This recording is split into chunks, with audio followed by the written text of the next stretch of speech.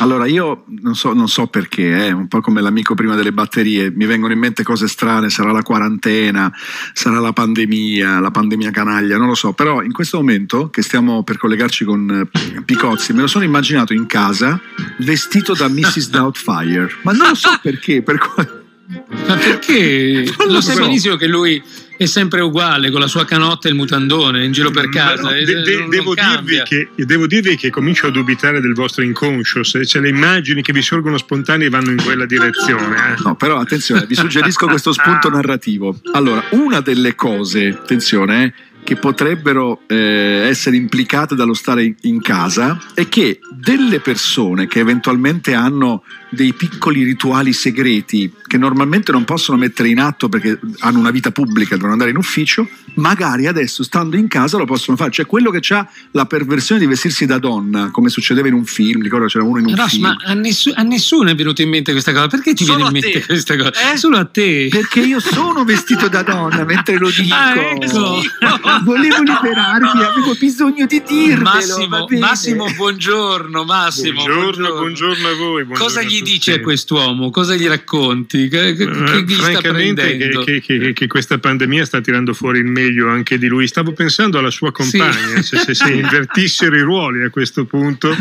Io, io, in realtà vivendo e convivendo con una figlia di 25 anni, girare per casa vestito da Mrs. Doubtfire la vedo un po' difficile. No, ma non è solo vestito da donna, anche che ne so, quello che ha la perversione di. Dimmi, dimmele tu, Picozzi, sei tu il criminale. Io, io, io, in realtà stavo pensando che, siccome la convivenza forzata in genere è più di famiglia, di gruppo che non dei singoli, anche se ce ne sono molti, francamente avere delle piccole manie, piccole abitudini e non poterle frequentare, mi sa che è veramente il problema, altro che frequentarle il doppio. Ma io non riesco a capire, ma i vestiti da donna dove li hai presi? Non hai potuto rubarli alla tua fidanzata perché è più piccolina di te? Cioè, eh, tu li avevi nel, nell'armadio? Assolutamente sì, cioè, cioè è una colle- collezione per cui, eh, figuriamoci, ho attinto mia, al mio guardaroba. Allora Massimo, con te abbiamo deciso in questi giorni attraverso varie riunioni che abbiamo anche poi reso pubbliche sui nostri social, sì. eh, ecco con queste foto che ho postato ieri su Instagram e Facebook taggando ah, tutti non i colleghi. Viste? Eh, Come, quella del piede? Eh, col tuo no, piede, non esatto, il tuo, il tuo, piede, sì, il tuo sì, orribile piede, tra l'altro. Piede d'autore, eh, ragazzi. Eh, piede d'autore, eh. piede da un tore, altro che d'autore. E abbiamo deciso appunto di mh, mm, eh, confermare comunque Massimo perché è incredibile, Picozzi parla di cose tremebonde ma risulta rassicurante. Questa è secondo me la grande cifra stilistica di Massimo Picozzi. Però in questi giorni abbiamo pensato Massimo che non fosse il caso di parlare di delitti, visto quello no, che già accade. E quindi di, no. di, cosa parleremo invece? Ma direi che il taglio di questi nostri appuntamenti appuntamenti che vorremmo iniziare, appuntamenti che io penso possano essere utili, è tutto sul principio di quella che si chiama la psicologia positiva, mm. eh, cioè quello di avere delle indicazioni per... Ehm, la psicologia positiva viene definita lo studio scientifico di quello che rende la vita più degna di essere vissuta. Se l'ha inventata un, uno psichiatra americano che si chiama Martin Seligman e eh, naturalmente eh, ha dato tutta una serie di indicazioni eh, su cosa fare, soprattutto anche in questo momento particolare che affrontiamo eh, un po' tutti insieme. E eh, la cosa su cui lui ha posto l'accento è eh, il discorso della incertezza sulle informazioni. Mm. Eh, di fatto, secondo me, e qua già arriva una prima indicazione pratica. Eh, mm. Oltre alla pandemia si è sviluppata quella che viene chiamata in, in gergo infodemia. Eh cioè sì, ne abbiamo parlato in questi giorni, sì, l'eccesso di informazioni, no? Questo eh, è male, sì. vero? Questo è male, tant'è vero che una delle cose, secondo me, più sagge che sono state adottate da, dai politici è quella del bollettino che viene emesso congiuntamente dall'Istituto Superiore di Sanità e dalla Protezione Civile alle 18 di ogni giorno per cui a tutti quelli che ci ascoltano dico, signori, avete un canale mediatico pre- preferito, che sia televisivo o radiofonico? Ecco, eh, fidelizzatevi su un solo, una sola fonte di informazione che vada a riprendere dati, informazioni, tutto da questo appuntamento di ogni pomeriggio alle 18. Mm. Altrimenti il discorso naturalmente, perché questa cosa vi dico? Perché l'abbiamo sì, già citata spiega, altre volte.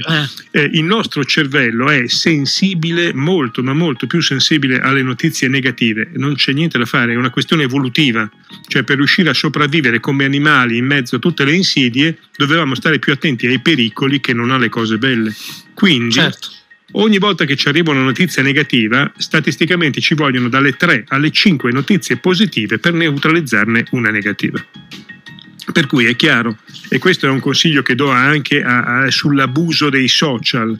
Eh, I social in questo momento sono fondamentali per tenere i rapporti con amici e parenti, ma eh, vederli e frequentarli sistematicamente per ore e ore e ore rischia di passare una quantità industriale di informazioni. Quello, quello, che dicevi tu è fidelizzarsi, cioè fidarsi o, o seguire ecco. soltanto una cosa, cioè tipo sì. io amo quel giornale lì, devo seguire sì. soltanto il sito sì. di quel giornale, non cercare quella notizia da, da, da mille fonti, mm, perché, no, perché se no sto cercando quella brutta. Sì, se no eh, quello che eh, ci arriva è una quantità industriale, eh, la confusione sull'incertezza. È vero, quello che dicevi tu Ross prima è sacrosanto, qui gli scenari cambiano eh, di momento in momento e quello che abbiamo detto prima eh, poi non, non vale più eh, eh, signori, i, la coppia di cinesi che è stata ricoverata allo Spallanzani è stata ricoverata due mesi fa, sono passati soltanto due mesi. Eh sì. E vi sembrano, ricorderete. Sembrano tre anni, sì. ma in realtà sono solo, sono solo due mesi. Addirittura eh, il giorno in cui è stato ricoverato il paziente 1 eh, a Codogno eh, era il, il, 21 di febbraio, è passato un mese. Pazzesco, pazzesco. Però mi, in mi mezzo. Che, mm in mezzo sono volate. Sì, certo. no, ma il problema è come. Io oggi eh, ho, ho, scoperto una frase, mh, potevo scoprirla prima per mia ignoranza, del Manzoni che si riferiva alla peste del 1630 e Manzoni disse nei Promessi Sposi: il buon senso c'era, ma se ne stava nascosto per paura del senso comune. Ah, bellissimo, me la ricordavo mi, questa frase, sai? Che sai mi sembra veramente strepitosa. Perfetta, eh, adattissima. Pe- però, attenzione, ecco, io non voglio assolutamente perché poi voglio dare a chi ci ascolta dei consigli pratici e in positivo. Sì però, mm. ragazzi miei, eh, vi ricorderete che quando furono ricoverati i due cinesi si parlò subito del pullman degli untori, che era il ah, pullman sì, su cui certo. viaggiavano, che avrebbe certo, diffuso, certo, come a dire, certo. attenzione agli untori. Peccato chiaro, che chiaro. poi si sia scoperto. Senti Massimo, ci così. piacerebbe coinvolgerti anche nell'altro contest che abbiamo lanciato, cioè questo disco rifugio, cioè quella canzone sì. che a un certo punto la fai partire in casa e ti dimentichi di tutto e ti rifugi appunto per 3-4 minuti in quella canzone lì che improvvisamente ti fa quasi sentire come se niente fosse successo. Tu ce l'hai? La vogliamo far scegliere a te? Beh, eh. scegliere, allora, dai, guardate, dai, io dai. ho una canzone che per me è ideale in questo momento di resistenza e di propositività che è We Will Rock You dei Queen, perché la associo alla discesa in campo della mia squadra del cuore all'epoca, per cui c'era un certo Rino Gattuso che quanto a carattere sì. e a grinta non è secondo ah, il mio nessuno. Il mio Eccola, che apriva, apriva proprio eh, il, la sgambata di, di, di, di riscaldamento sulle note di We Will Rock You. E allora andiamo. Facciamolo tutti. Chissà quando potremo riandare ai concerti. Porca miseria, quando succederà?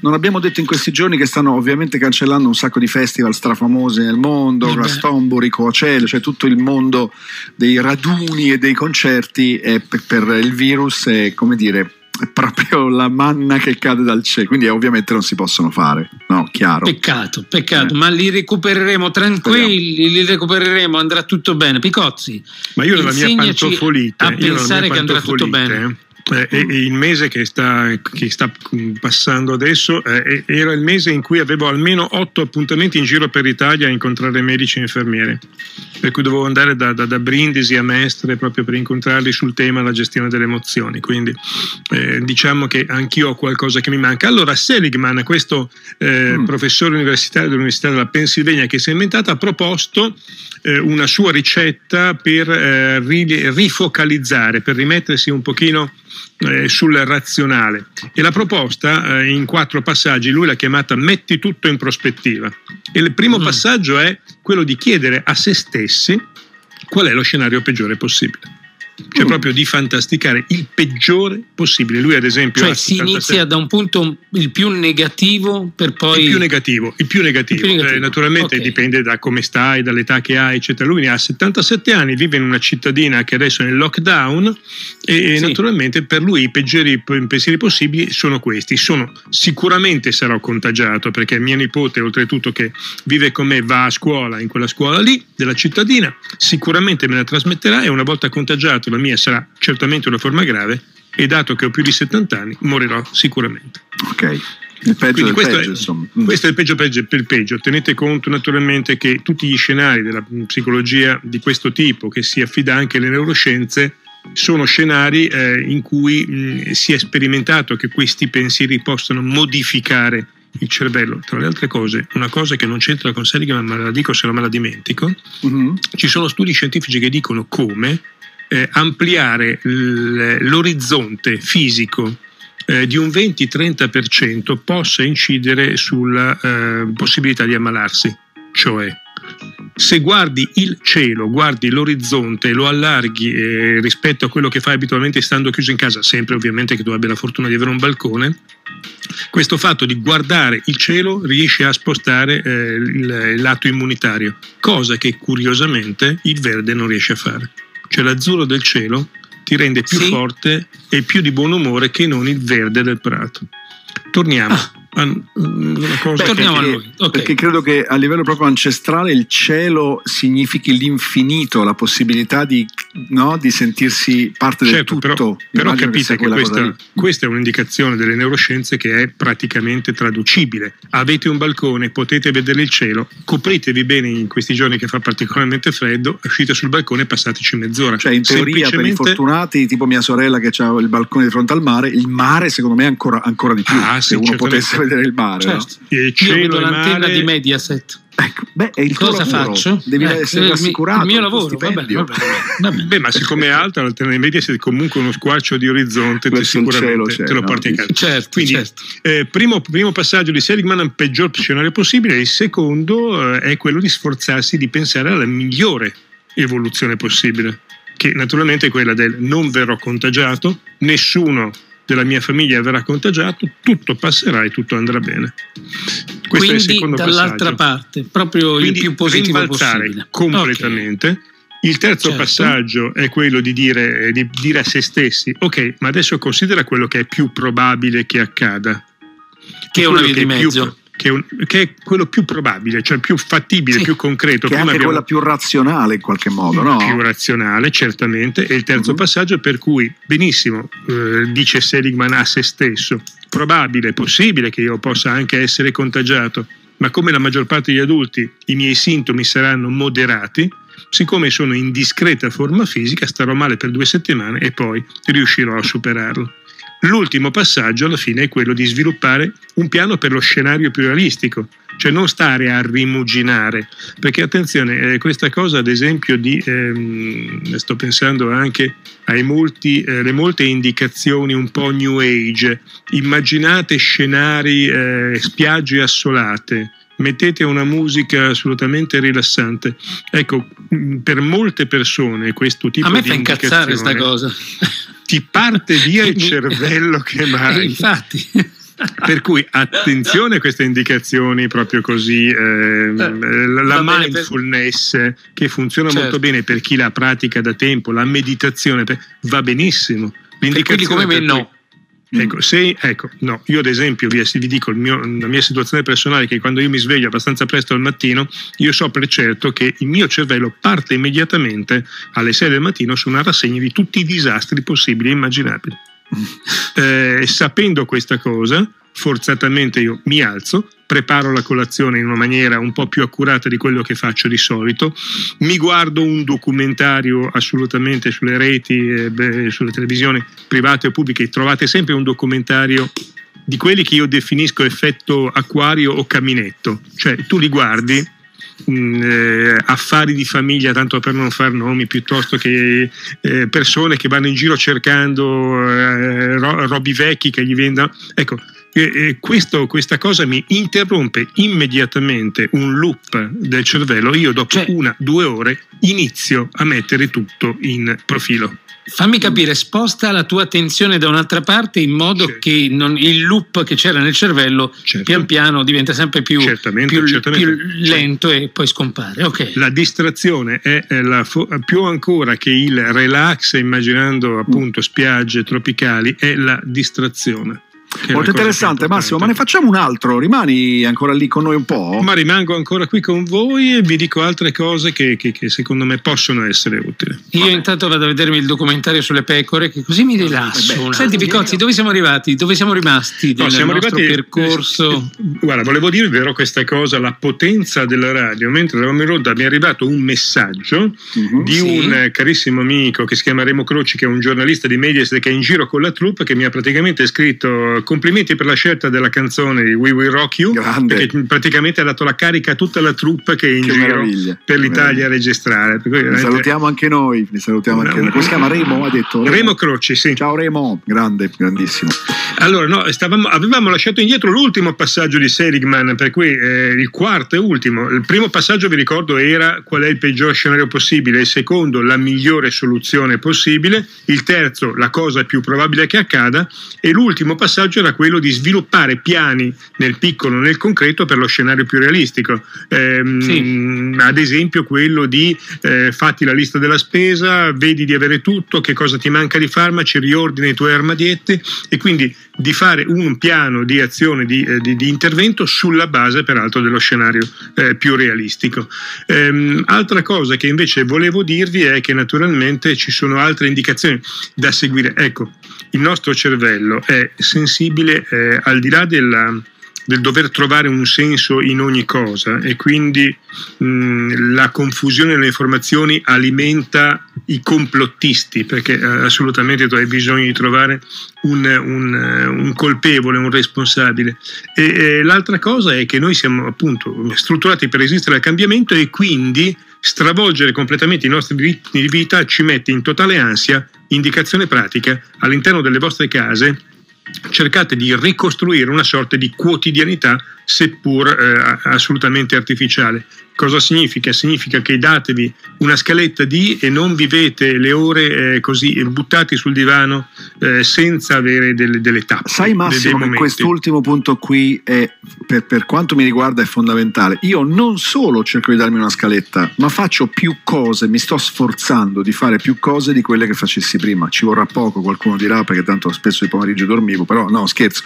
Però insomma io proprio mi sto eh, un po' riempiendo di cose, cioè ho cominciato a fare la cyclette, eh, sto cercando di scrivere perché se, se, no veramente pascoli tra il divano e le news e diventa una cosa proprio letale. Certo, però tieni conto, eh, ehm, vado in quella tua direzione, ma ancora più estremizzata, cioè il, il, rituale è rassicurante, per cui sarebbe interessante che tu avessi questa scaletta dalle 8 alle 9 colazione, dalle 9 alle 11 cyclette, dalle 11 alle, alle mezzogiorno preparo il cibo, poi il, la televisione la guardo dalle 3 alle 5, ecco, qualcosa che sia comunque ricostruisca una sorta di scansione quotidiana perché noi siamo abituati a vivere comunque con dei Ma, ritmi che sono saltati. Certo. Ma scusami, cioè, lo facciamo normalmente, automaticamente, naturalmente se eh, finiamo per esempio costretti in ospedale, se stiamo facendo un per esempio in carcere stavo pensando, no? l'estremo, quello che tu mi sì. dicevi, l'estremo, uno che è costretto a stare in carcere, si crea comunque, o, o come per Comollo dicevo all'inizio della puntata quest'oggi, cioè che è dovuto rimanere un mese in ospedale, si crea realmente una scaletta della giornata sì. in modo che non sia una giornata persa, non sia una giornata noiosa.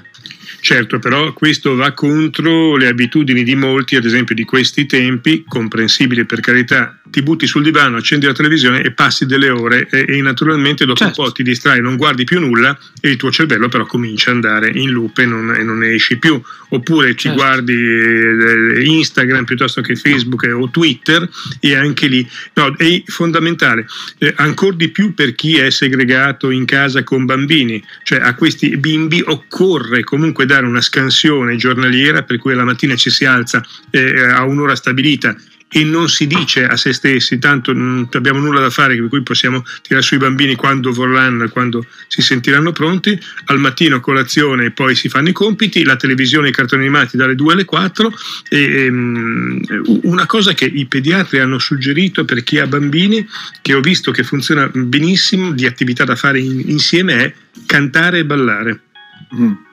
eh, mm. più, lo diceva ancora... questa mattina la Unziker eh, eh, che lei fa esattamente così evidentemente avrà raccolto indicazioni o è una brava mamma eh, così di default, di ma l'idea certo. proprio di, di, di, di cantare è, è, probabilmente una delle cose più coinvolgenti e probabilmente anche più divertenti.